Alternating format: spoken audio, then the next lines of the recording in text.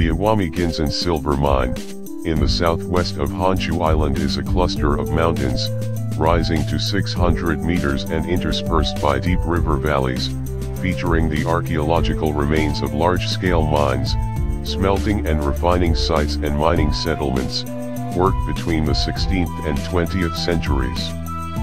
The site also features routes used to transport silver ore to the coast, and port towns from where it was shipped to Korea and China.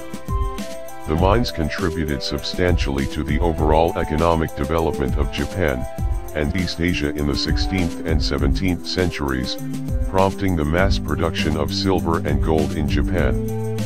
The mining area is now heavily wooded.